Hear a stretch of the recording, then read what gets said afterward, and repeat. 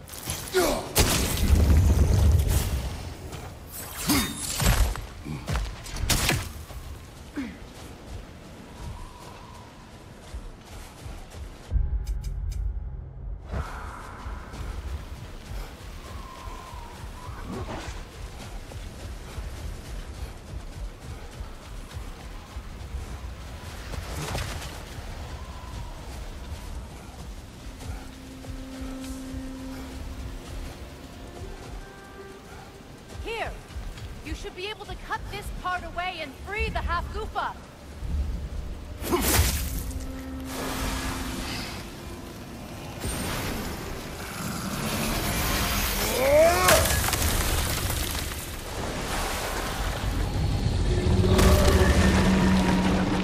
Never imagined I'd see a Hafgufa fly again.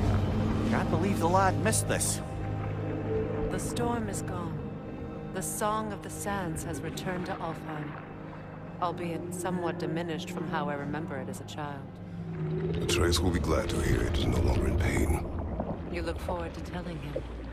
I do. It is not too late to avoid my mistakes. Your son must walk his own path, but you can still guide him. And I will help you, however I can, for his sake. Thank you. Well, nice to be able to have a real conversation out here for once.